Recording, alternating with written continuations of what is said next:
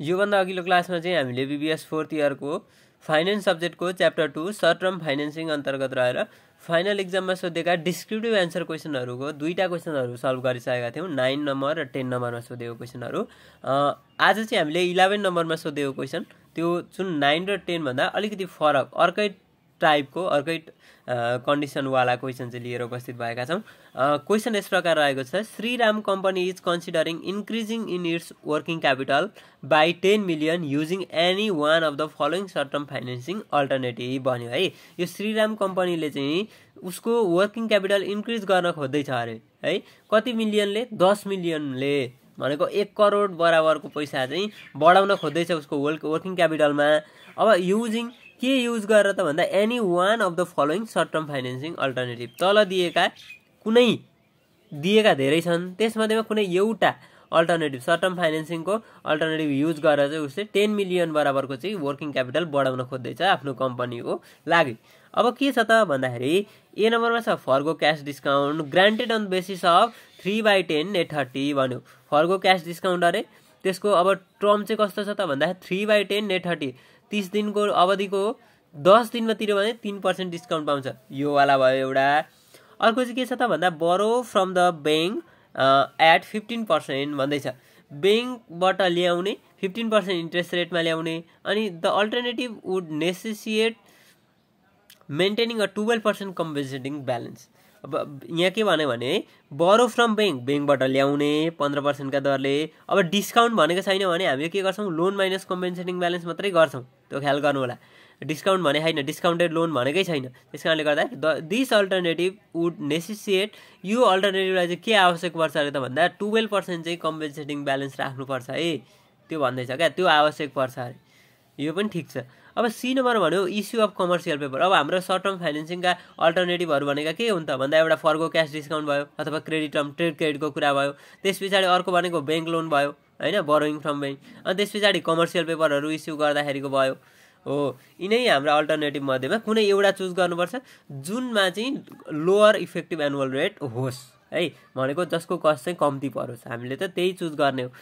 अब issue of क twelve percent commercial paper चाहिँ टुवेल्भ पर्सेन्टमा इस्यु गर्छ अरे the cost of placing the issue would be rupees one lakh each six month अब भनेको हरेक छ महिनामा चाहिँ यो प्लेसिङ प्लेसमेन्ट कस्ट चाहिँ लाग्छ अरे वान लाख रुपिज बराबरको है प्लेसमेन्ट कस्ट लाग्छ अरे। The cost of placing issue placing the issue issue गर्दाखेरिको जुन प्लेसमेन्ट कस्ट हुन्छ त्यो चाहिँ छ महिनामा एकचोटि लाग्छ अरे? कति रुपियाँ बराबर लाग्को लाग्दो रहेछ त भन्दा एक लाखको लाग्दो भने चाहिँ वर्षमाको दुईचोटि लाग्ने भयो दुई लाख रुपियाँ चाहिँ खर्च हुने भयो प्लेसमेन्ट कस्ट भनेर। अब हामीले कस्ट अफ कमर्सियल पेपरमा चाहिँ पहिला इन्ट्रेस्ट भइहाल्यो त्यस पछाडि अरू कस्टहरू के भयो त? यहाँ प्लेसमेन्ट कस्ट पनि हुने भयो। त्यो पनि जोडेर चाहिँ total cost of commercial paper निकाल्छौँ त्यसलाई चाहिँ अनि हाम्रो जति वर्किङ क्यापिटल रिक्वायरमेन्ट हो। त्यसले डिभाइड गरेपछि त्यहाँबाट हाम्रो कमर्सियल पेपरवाला चाहिँ हाम्रो के आउँछ त? इन्ट्रेस्ट रेट फाइन गर्न सक्छौँ एनुअल पर्सेन्टेज रेट फाइन गर्न सक्छौँ। त्यो ठिकै छ अहिले हामी हेरौँला। अब भन्दैछ हामीलाई assuming the firm would prefer the flexibility of bank financing bank फाइनेन्सिङलाई चाहिँ ब्याङ्कले यो जुन फर्मले प्रिफर गर्छ अरे। Provided the additional cost of the Phule flexibility is no more than two percent अरू जुन अल्टरनेटिभ छन् ती अल्टरनेटिभ भन्दा दुई पर्सेन्ट महँगो भए पनि है मानिलिउँ। यो अल्टरनेटिभमा हाम्रो मानिलिउँ दस पर्सेन्ट आयो सपोज है। अनि यो अल्टरनेटिभ ब्याङ्कको चाहिँ हाम्रो बाह्र पर्सेन्ट आयो यसको चाहिँ नौ पर्सेन्ट आयो है। यसको चाहिँ ल मानिलिउँ यसको पनि दसै पर्सेन्ट आयो अथवा यसको चाहिँ एघार पर्सेन्ट आयो अरे। भने अब हामीले यसको एघार भनेको एघारमा दुई जोड्दा तेह्र पर्सेन्ट तेह्र पर्सेन्टसम्म हुँदाखेरि हामीले लिन सक्छौँ। यसको दस दस दुईले बाह्र पर्सेन्टसम्म हुँदाखेरि लिन सक्छौँ। भनेको मतलब कि दुई पर्सेन्ट चाहिँ यो ब्याङ्कबाट लिएको लोन बढी भयो भने पनि इन्ट्रेस्ट रेट बढी भयो भने पनि हामीले त्यो चुज गर्नुपर्ने हुन्छ अरे। किन त भन्दाखेरि फ्लेक्जिबिलिटीको आधारमा। ब्याङ्क फाइनेन्सिङ चाहिँ एकदम फ्लेक्जिबल हो। होइन हामीले जतिखेर सुकै लिन पनि सक्छौँ। त्यस कारणले गर्दा त्यसको बदलामा हामीले दुई पर्सेन्ट बढी कस्ट तिर्नु पऱ्यो भने पनि हामी रेडी छौँ। होइन? दुई पर्सेन्ट बढी भयो भने पनि हामी रेडी छौँ तिनीहरूलाई। हो त्यस्तो कन्डिसन दिएको छ अनि which alternative should Phoenix select भन्दैछ? यो फोनिक्सले चाहिँ कुन अल्टरनेटिभ चुज गर्ला त?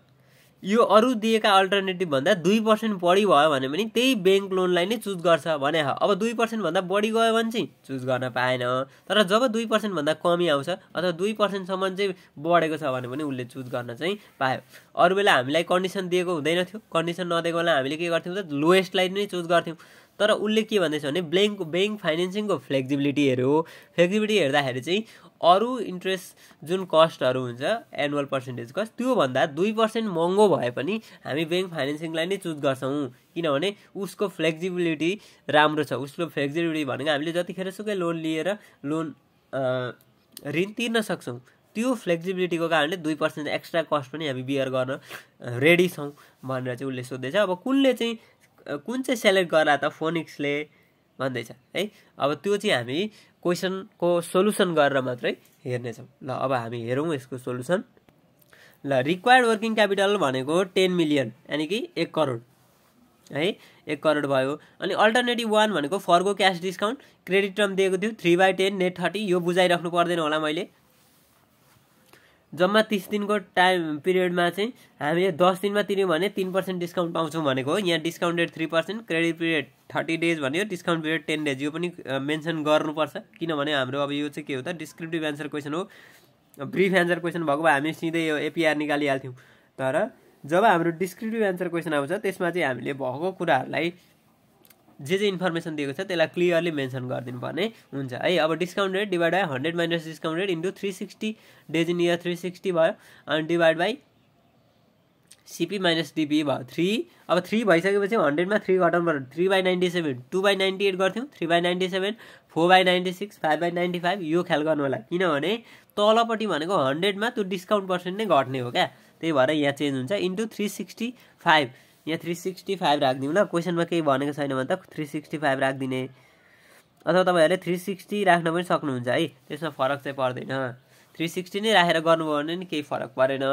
तर अब क्वेसनमा भनेको छ भने चाहिँ त्यो जतिको त्यति राखिदिने। भनेको छैन भने थ्री सिक्सटी थ्री सिक्सटी फाइभले त्यसलाई हामीलाई फरक पार्दैन है त। अब हामीले यहाँ three sixty five राखिदिउँ। Three by ninety seven into three sixty five divide by thirty minus ten गऱ्यो। Fifty six point four four आयो। है? Fifty six point four four percentage चाहिँ हाम्रो एनुअल पर्सेन्टेज रेट अथवा एनुअल पर्सेन्टेज कस्ट आयो।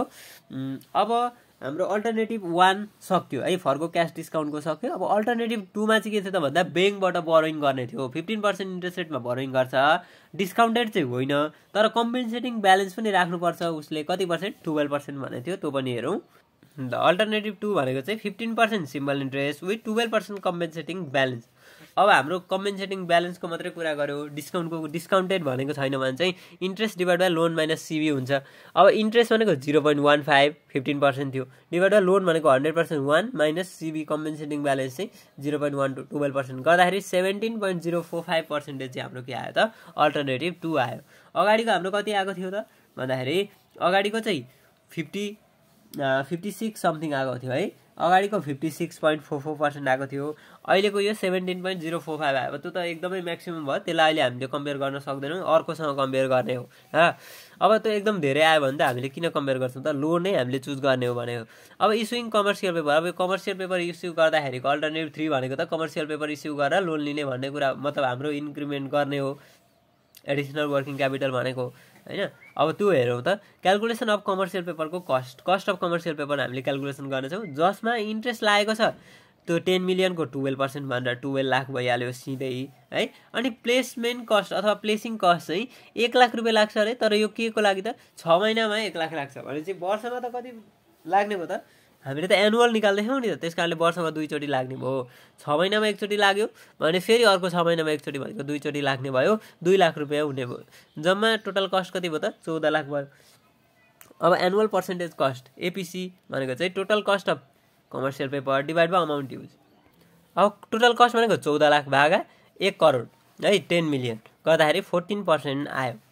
अब हामीले के हेर्छौँ भने ब्याङ्क चाहिँ ब्याङ्कको अल्टरनेटिभ चाहिँ अरू अल्टरनेटिभ भन्दा दुई पर्सेन्ट महँगो भए पनि लिन्थ्यौँ भने जस्तो मानिलिउँ यो फोर्टिन आयो। यो फोर्टिन आएपछि यहाँ सिक्सटिन थियो भने सिक्सटिन पर्सेन्ट सपोज थियो भने है यो सपोज सिक्सटिन पर्सेन्ट थियो भने हामीले ब्याङ्कलाई नै चुज गर्थ्यौँ। किन ब्याङ्कलाई चुज गर्थ्यौँ त भन्दाखेरि ब्याङ्क चाहिँ जुन ब्याङ्क फाइनेन्सिङ छ त्यो चाहिँ एकदम फ्लेक्सिबल छ। हामीले त्यो फ्लेक्जिबल भएकै कारणले टु पर्सेन्ट एक्स्ट्रा तिर्न पनि हामी चाहन्छौँ रेडी छौँ। भनेपछि यहाँ फोर्टिन छ सिक्सटिन थियो भने हामीले ब्याङ्कलाई नै चुज गर्थ्यौँ। तर जब सेभेन्टिन भयो टु पर्सेन्टभन्दा त मोर भयो नि त बढी भयो नि त। त्यस कारणले गर्दाखेरि चाहिँ अब हामीले अल्टरनेटिभ थ्री नै प्रिफरेबल हुने भयो। अर्को त हाम्रो छप्पन्न हो कहाँ हो कहाँ हो डबल त्रिबल नै छ चौध चौबल नै छ। त्यस कारणले गर्दाखेरि हामीले चाहिँ अल्टरनेटिभ थ्री नै चुज गर्ने भयौँ। किन भन्दाखेरि अब यहाँ लेख्यो the bank financing is approximately three percent more expensive than the commercial paper bank financing चाहिँ झन्डै झन्डै तिन पर्सेन्ट भनेको छ झन्डै होइन छ नै चौधबाट सत्र भनेपछि त तिन पर्सेन्ट छ तिन पर्सेन्ट बढी छ खर्चिलो होइन then the commercial paper therefore commercial paper should be issued अब दुई पर्सेन्ट मात्रै थियो भने चाहिँ हामीले ब्याङ्क फाइनेन्सिङ नै युज गर्थ्यौँ। तर दुई पर्सेन्टभन्दा माथि गयो नि त। क्वेसनको कन्डिसन भन्दा नै माथि गइसकेपछि कन्डिसनभन्दा बाहिर हामीले टेकेर डिसिजन लिन मिलेन। त्यस कारणले गर्दाखेरि कमर्सियल पेपरलाई नै हामीले इस्यु गरेर चाहिँ के गर्न सक्ने रहेछौँ त? हाम्रो एडिसनल वर्किङ क्यापिटल चाहिँ अथवा एडिसनल क्यापिटल चाहिँ बढाउन सक्ने रहेछौँ भनेर हामीले यो क्वेसन सक्छौँ ल। तपाईँलाई यो भिडियो कस्तो लाग्यो? भिडियो मन पऱ्यो भने भिडियो लाइक गरिदिनु होला। हामीले यहाँनिर चाहिँ यो फेरि फरक खालको क्वेसन गऱ्यौँ है। अगाडिको फरक क्वेसन थियो यो चाहिँ हाम्रो अब यो कमर्सियल पेपरवाला होइन अनि ब्याङ्क लोनवाला अनि त्यस पछाडि ट्रे क्रेडिट टर्म दिएकोवाला त्यो पनि हामीले हेऱ्यौँ। हस् थ्याङ्क यू